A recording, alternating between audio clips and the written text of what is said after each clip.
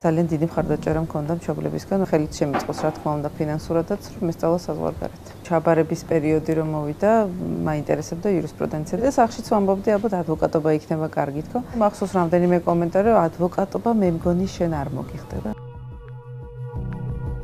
მე ვსწავლობ ტექნიკურ უნივერსიტეტში, სანამ გავემგზავრებოდი ბათუმში და როგორც კი ჩავაბარე, იმ წელსო დავიწყო მუშაობა.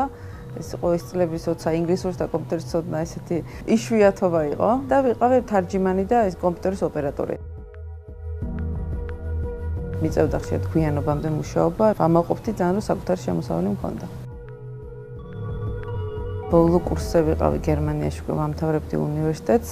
უკვე მყავდა სალომე, პატარა რამდენიმე თვის. ვიცოდი ზუსტად რომ უნდა დამთავრებდი დიპლომი ამიღო, ვიცოდი ზუსტად რომ მასთან ერთად გერმანიაში ამას ვერ შევძლებდი, რომ დამეტოვებინა ჩემთან ყოფილიყო ბავშვი. მიწევდა ცოტათი სტუდენტურადაც მე მუშავა იმ პერიოდში. სამუშაოებს შორის იყო ბავშვის მოულაც, შაბათკვირობ და ჩემს ხო ძალიან რთული, როცა იცი რომ შვილი ყავს. დატოვებული სახლში შორს იცი ზუსტად რატო ვაკეთებ ამას, უნდა დაამთავრო უნივერსიტეტი, გჭირდება ფულიც, რომ შეძლო ცხოვრება და უვლი ბავშვს, რომელიც არ თითქმის იმხელა იყო, ამხელად სალომე და ეს იყო ყველაზე რთული პერიოდი. შინაგანად ყველაზე მეტად მაშინ გამიჭირდა.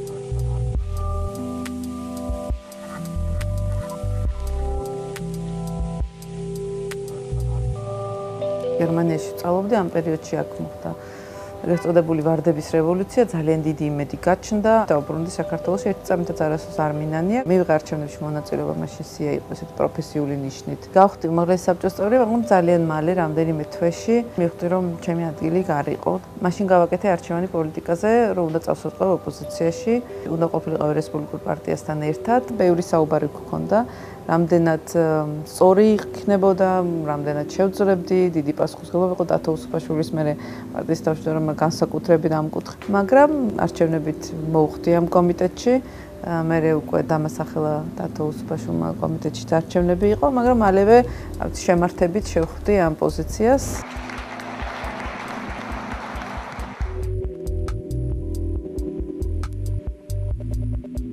ბევრი კვალიფიციური, ძალიან აქტიური ხალხი ხოს პარტიაში, წამყვან პოზიციებზე, იმიტომ რომ ჩვენთან არჩევნებითაა ყველა პოზიცია და როდესაც არის სამართლიანი არჩევნები, როდესაც არის კვალიფიკაციის მიხედვით გამოცდები, ხალები ყოველთვის თანასწორად არიან წარმოქმნილი, მაგრამ ეს არნიშნავს, რომ პრობლემა არ არის სამწუხაროდ ამ ხალებს მეરે ჩვენ ვერ ვხედავთ უკვე არჩევით თანამდებობებზე, ადგილობრივ თვითმმართველობებში, ცენტრალურ დონეზე, აქ როგორც მათი მხრიდან არის ბევრი რამ გასაკეთებელი, ასევე ჩვენი მხრიდან როგორც პარტიის მხრიდან ბევრი რამ არის გასაკეთებელი და ეს არის ჩემი ერთ-ერთი მიზანი, რომ სიის ფორმირების დროს, საერთოდ მართლობის სიების ფორმირების დროს კოტირება კი არ იყოს განსაზღვრელი. არამედ ბუნებრივად ხდებოდეს ის, რომ როგორც მამაკაცები ასახელებენ საკუთარ თავს, რომ მე მინდა კენჭი ვიყარო, მეტი ქალისგან გავიგონო, მე მინდა კენჭი ვიყარო. კოტას უყურებ როგორც პირველ ნაბიჯს, რომ მეორე ნაბიჯს ვერასოდეს ვერ გადავთქვამს, პირველ ნაბიჯს არ გადავდი და პირველ ნაბიჯს უნდა იყოს სწორედ წარმოგებლობის გაზრდა.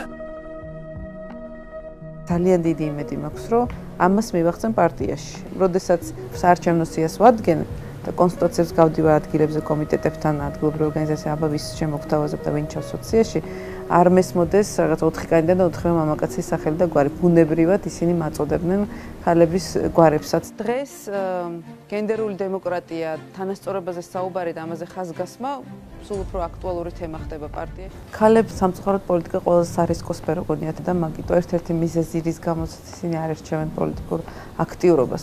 ჩვენ, ვინც აქტიურად ვართ პოლიტიკაში ჩართულები, უნდა გავხდეთ მაგალითი და მოდელი ამ ხალებისთვის, ვისაც აინტერესებს პოლიტიკა, მაგრამ ნაბიჯს ვერ დგამენ აკითხარეს. ჩემი როლიც ეს არის, რაც შეიძლება მეტი ვილაპარაკო ხალებზე პოლიტიკაში, მათ ნიშნულობაზე პოლიტიკაში. ხშირად მომავალ ამ სიტყვებს სპეციალური ადგილია ჯოჯოხეთში ქალებისთვის, ვინც ქალებს არ ეხმარებიან. ჩვენ აქ ვართ, ასეთ ქალებს დავეხმაროთ და დარწმუნებული ვარ, ბევრი მამაკაციც არის პოლიტიკაში, ვინც ქალების გააქტიურებას პოლიტიკაში დაეხმარება.